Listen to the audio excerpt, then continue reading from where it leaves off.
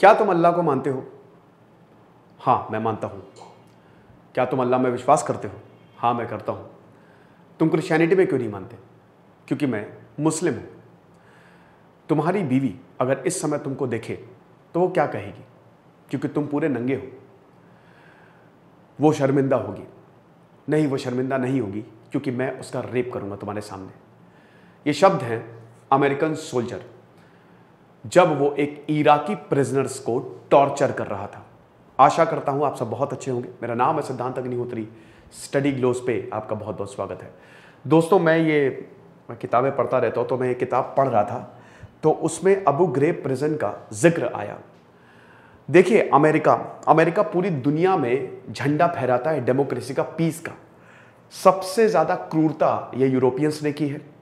सबसे ज़्यादा आप जिस लेवल पे सोच नहीं सकते, उस लेवल पे टॉर्चर यहाँ पे अमेरिकन करते हैं। याद रखिए यह शुरू होता है 2003 से। हम आज बात करेंगे अबू ग्रे प्रेजेंट टॉर्चर की, जहाँ पे इंसानों को पूरी तरीके से खत्म कर दिया गया। और समझ लीजिए कि हर दिन मारा जाता था उनको। वो एक्चुअली में मरते नहीं थे, लेकिन उनका मेंटल खत्म हो गया। लोगों, जब लोग कुछ, जब जो प्रिजनर्स यहाँ से बाहर आए तो मेंटली इतना डिस्टर्ब थे कि उनको पता ही नहीं कि सही और गलत क्या है दिन और रात क्या है। क्योंकि अमेरिकन ने भयानक टॉर्चर किया था। हम बात करेंगे आज अबू ग्रेब टॉर्चर की। ठीक है? देखिए, इससे रिलेटेड एक एक्सपेरिमेंट भी हुआ था, जिसको स्टैनफोर्ड एक्सपेरिमेंट भी बोला जाता है। है ना? एकदम सेम टू सेम इसी तरीके का एक्सपेरिमेंट था। बात शुरू होती है 2001 से 2001 से। ये कुछ फ़ोटोज़ हैं, टॉर्चर के भी मैं बताऊँगा। 2001 को 9/11 अटैक होता है अमेरिका पे, और जॉर्ज डब्ल्यू बुश कहते हैं वॉर ऑन टेरर कि अब ऐसा है, या तो आप हमारे साथ हो या हमारे खिलाफ हो। तो वो अफ़गानिस्तान जाते हैं, पूरी अमेरिकन फौज जो है वो अफ़गानिस्तान जाती है, वहाँ पर इन्वेट करती है। और 2003 में ही इराक को इन्वेट किया जाता है, सद्दाम हुसैन 1979 में उसने सत्ता हासिल की। प्रेसिडेंट था वो, बात पार्टी थी। और जैसे ही अमेरिका गई 2003 में, बात पार्टी को ओवरथ्रो किया। सद्दाम हुसैन रातों रात गायब हो गया। और 2006 30 दिसंबर 2006 को सद्दाम हुसैन को फांसी दे दी गई। अब समझिए कि ये इराक का जो इन्वेजन था अमेरिका का, अमेरिका काफ़ी समय तक रहा और उसके बाद इराक बहुत ही अनस्टेबल रहा 2011 तक रहा। उसकी बात मैंने कई बार की हुई है, बात हम अबू ग्रेब प्रिजन की कर रहे हैं।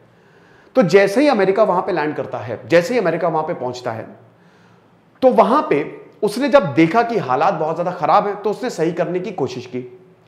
बगदाद से 32 किलोमीटर दूर 110 एकड़ में अबू ग्रेब प्रिजन है, जो कि देश का बहुत बड़ा प्रिजन माना जाता है, बहुत बड़ी जेल मानी जाती है। पचास हज़ार से ज़्यादा कैदी यहाँ पे रहते थे। अमेरिकन आए। अब अमेरिकन ने बोला कि चलो, हम चीज़ों को ठीक कर रहे हैं, अब जितने भी लोग हैं, उन सबको जेल में डालो। अब इसमें तीन तरीके के कैदियों को अमेरिका ने जेल में डाला। कौन कौन से थे वो?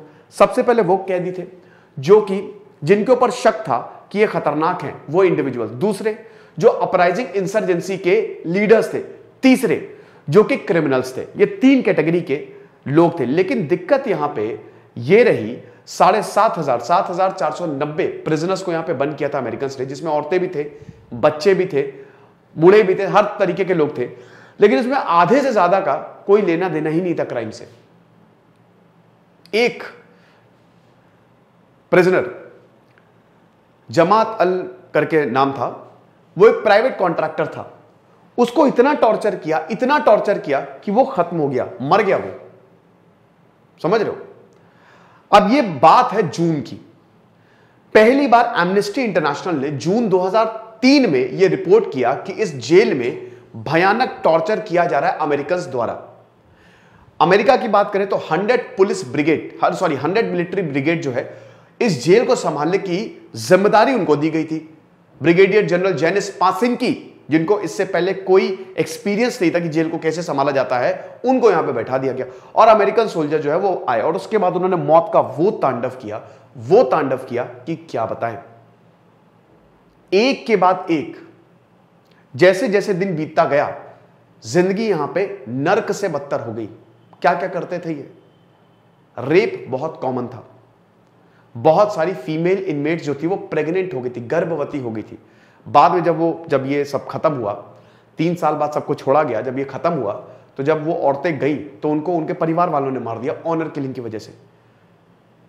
आदमियों के साथ भी रेप होता था। बिल्कुल। आप समझिए कि ये तो बहुत कॉमन थी। साथ ही साथ टॉर्चरिंग की जो टेक्निक्स थी स्लीप डिप्रेवेशन जिसको बोलते हैं इनकी एक प्रोग्राम चलाते थे इसको सिस्टमैटिक टॉर्चर बोला जाता था कि कैदियों को सोने ही नहीं देते थे। ये आप देख सकते हो, जंजीर से ऐसे कुत्तों की तरह ट्रीट करते थे। कुत्तों की बात आई तो ये इस तरीके की भी तस्वीरें, बहुत इतनी तस्वीरें आई हैं दोस्तों, इतनी तस्वीरें आई हैं। ये कुत्ते छोड़ देते थे इन प्रिजनर्स के ऊपर। जहरीले सांप होते हैं ना, वो छोड़ देते थे। ऐसा बोला जाता कि तिरसठ, जब ये खत्म हुआ तो तिरसठ प्रिजनर्स जो है वो मारे गए थे। इसमें बहुत सारे लोग बेगुना थे। एक आदमी को बंद किया, वो एक दुकान चलाता था और उसको बंद किया कि तुमने बॉम्ब ब्लास्ट किया था, बारह लोग मरे थे, चलो आओ जेल में आओ। आओ, स्वागत करते हैं तुम्हारा। ये इस तरीके की तस्वीर एक ही टाइम पे, एक ही पोजीशन पे खड़े रखते थे, दिन भर, दिन रात। एक मैं टेस्टिमनी सुन रहा था तो उसका बिज़नेस था, उसको एकदम से जो ये क्या हुआ कि वो अपनी फैमिली के साथ जो है वो डिनर कर रहा था। एकदम से अमेरिकन आए घर का दरवाज़ा तोड़ा, उसके मुँह पे पट्टी बांधी और मास्क लगाया मतलब वो क्या होता है, वो हुडी लगाई और उसको ले गए। उसकी पत्नी गर्भवती थी तो उसकी पत्नी को लात मारी तो उसकी ब्लीडिंग होने लगी, ठीक है? पकड़ के ले गए वो। और उसके बाद उसको जेल में रख दिया। अब वो जेल की बातें बताते बताते रोने लगता है। वो कहता है कि मेरे साथ इतना भयानक टॉर्चर हुआ, इतना ज़्यादा टॉर्चर होता था कि मेरी जो उंगली, जो ये हाथ है ना हाथ, वो ऐसे ज़मीन पे रखते थे और उनके नुकीले जूते होते थे तो वो ऐसे एकदम मसल देते थे। ठीक है? मुझे एक ही पोजीशन पे नंगा करके बहुत समय तक खड़ा रखा जाता था। और वहाँ पे सोल्जर्स आते थे, कोई लात मार रहा है, कोई थूक रहा है मेरे ऊपर, कोई गालियाँ दे रहा है। एक ही पोजीशन पे बहुत सारे प्रिजनर्स को एक साथ उल्टा लटका दिया जाता था, नंगा। काफ़ी लोग जो है, वो बीमार पड़ गए और काफ़ी लोगों की, काफ़ी प्रिजनर्स की ऑफिशियल आंकड़ा तो अभी तक आया नहीं, लेकिन बहुत सारे प्रिजनर्स की यहाँ पे मौत हो गई। ठीक है, इस टॉर्चर से। इस तरीके से यहाँ पे टॉर्चर जो है, वो किया जाता था। ये तस्वीर आप देख सकते हो। इस तस्वीर की अगर हम बात करते हैं, ये ऐसे। फिर उसके बाद ये तस्वीरें बहुत कॉमन थी इस तरीके की कैसे ग्रुप में, ऐसे एकदम सबको जितने भी प्रेसिडेंट्स उनको खड़ा किया जाता था। कपड़े नहीं होते थे। उनको कोई मार रहा है पीट रहा है। और जो अमेरिकन सोल्जर्स है ना वो बहुत ये फ़ोटो बहुत वायरल हुई थी। देखिए 2004 में 2003 में एमनेस्टी इंटरनेशनल 23 जुलाई को एक और रिपोर्ट एमनेस्टी इंटरनेशनल ने जारी की कि यहाँ पे जो आ, जो सीन्स हैं ठीक है वो देखने लायक नहीं है कि इतना भयानक टॉर्चर हो रहा है। फिर उसके बाद 2004 में अप्रैल 2004 में एक सीबीएस ने 60 मिनट की एक रिपोर्ट दिखाई थी, एक घंटे की। और उसके बाद फिर अमेरिका का कच्चा चिट्टा पूरी दुनिया के सामने आ गया। इंटरनेशनल रेड क्रॉस वाले जब यहाँ पे गए थे तो उन्होंने बोला कि हम सोच भी नहीं सकते जिस तरीके का सिस्टमैटिक सिस्टमैटिक स्लीप डिप्रिवेशन पता है, सोने ही नहीं देते किसी कैदी को। ये एक सेल से दूसरे सेल में बदल रहे हैं, दूसरे सेल से तीसरे सेल में बदल रहा है। खूब तेज म्यूज़िक कभी टेम्परेचर बहुत कम कर देते थे, कभी बहुत ज़्यादा कर देते थे। ऐसा और आपको बता दूँ कि रात में इन प्रिजनर्स की चीखने की आवाज़ें आती थी। ये लोग दर्द के मारे चिल्लाते थे कि बस हमको यहाँ से निकाल दो। गिड़गिड़ाते थे, हाथ पैर जोड़ते थे, लेकिन कोई फ़र्क नहीं पड़ता था। और यही अमेरिका ने बगराम प्रिजन में भी किया, अफ़गानिस्तान में। ग्वांटनो बे का तो बहुत ही फ़ेमस किस्सा है। क्यूबा के बगल में जो ग्वांटनो बे है, वहाँ पे तो इन्होंने टॉर्चर टेक्निक इजाद की थी नई नई टॉर्चर टेक्निक्स मतलब एक तरीके से एकदम लो लेवल पे। और देखिए, इसमें बहुत सारे लोग अब ये देख सकते हो, ये आप जो देख रहे हो ना, ये ह्यूमन एक्सक्रीटा है। ठीक है? इंसानों की पॉटी पूरी लगाई है यहाँ पे। ऐसे इस लेवल पे जाके टॉर्चर होता था। अब आप बोलेंगे, सर, ये टॉर्चर क्या ऐसे ही रहा? इसी तरीके से टॉर्चर हुआ। एक टॉर्चर एक क्या हुआ था कि एक यहाँ पे पेशेंट की मौत हुई थी। एक लेडी की मौत हुई थी। उसके प्राइवेट पार्ट में वो वो डाल दिया था। लाइट बल्ब पता है इंडेसेंट बल्ब डाल दिया था। इस तरीके से।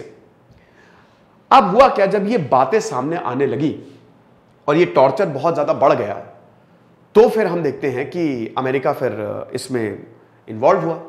अब शुरुआत में तो जॉर्ज डब्ल्यू बुश वो इग्नोर ही कर रहे थे कि फ़र्क नहीं पड़ रहा है। लेकिन धीमे धीमे पूरी दुनिया में जब ये खबर फैली तो पूरी दुनिया से रिएक्शन आना शुरू हुए और पूरी दुनिया ने इसको कंडेम किया। 2004 में, वही अप्रैल 2004 में जो ये पूरी रिपोर्ट आई, वो पूरा हिला के रख दिया। और उसमें अफ़गानिस्तान ग्वांटनोबे इराक, जहाँ जहाँ पे भी अमेरिका था, वो अमेरिका कितना भयानक टॉर्चर कर रही है, ये पूरा उस रिपोर्ट में था कि ये ये ये अमेरिका, अमेरिकन सेना जो है वो ये कर रही है। ठीक है?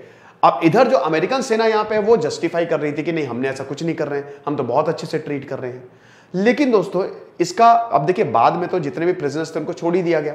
लेकिन इसका नतीजा ये हुआ कि अमेरिका में चला, मुकदमा चला। सत्रह ऑफिसर्स को बकायदा उनके ऊपर मुकदमा चलाया, लेकिन आपको जान के हैरानी होगी कि किसी को भी आज तक कोई सजा नहीं हुई है। कोई भी सजा, वो आराम से खुले घूम रहे हैं एंड किसी को भी कोई सजा नहीं हुई है। बहुत ही माइनर चार्जेस लगाए गए हैं। मर्डर किया है यहाँ पे लोगों का टॉर्चर किया है औरतों का, बच्चों का। छोटे छोटे बच्चों तक को नहीं छोड़ा है। समझ रहे हो? लेकिन बहुत ही माइनर चार्जेस लगा के इन सबको छोड़ दिया गया। तो ये आप देखिए कि अमेरिका जो इतना बोलता है कि ह्यूमन राइट्स ये, वो, फलाना धमाका, ये करता है एक्चुअली में अमेरिका। और ये कोविड नाइन्टीन में तो साफ़ हो ही गया। सब बड़े बड़े इंटेलेक्चुअल एलॉन मस्क जैसे इंसान आके बोल रहे हैं कि मास्क ना पहनो तो आप क्या ही उम्मीद कर सकते हो? तो कभी कभी जो इंसान, जो जैसा दिखता है ना, वैसा होता नहीं है। और ये यूरोपियंस के बारे में तो फ़ेमस ही है ना। यूरोपियंस जो थे, भाई कॉलोनाइज कॉलोनाइजेशन कैसे हुआ? कैसे हुआ? कॉलोनाइजेशन भाई ऑस्ट्रेलिया के मूल निवासियों को मारा गया अमेरिका के मूल निवासियों को मारा गया, बेतरतीबी की गई, बेरहमी की गई टॉर्चर किया गया। क्रिस्टोफर कोलंबस वास्को डबागी के बहुत सीधे थोड़ी ना थे। जहाँ जाते थे, वहाँ पे सबको मारते थे। तो ये तो है ही। ये लेक्चर था दोस्तों, बाकी आप ज़रूर और इनकी फ़ोटोज़ बहुत कुछ तो मैं नहीं लगा सकता था अनफॉर्चुनेटली ठीक है, वो सही नहीं रहता। तो वो आप देखिएगा, आपको खुद पता चलेगा, आप एकदम अंदर से एकदम मूड खराब होगा आपका। हमारा स्ट्रेस मैनेजमेंट का कोर्स आप ज़रूर अवेल करें। आज दोपहर एक बजे क्लास होगी, पहली क्लास होगी इंट्रोडक्टरी सेशन है। आई होप आपने अभी तक टेलीग्राम ग्रुप को ज्वाइन कर लिया होगा। व्हाट्सएप नंबर पर मैसेज करें। इसमें हमने दस लाइव सेशन आपको देंगे। और सबसे बड़ी बात, तीस से पचास किताबों का रिव्यू है। मैं बताता चलूँगा। दिस इज़ सिद्धांत अग्निहोत्री साइनिंग ऑफ़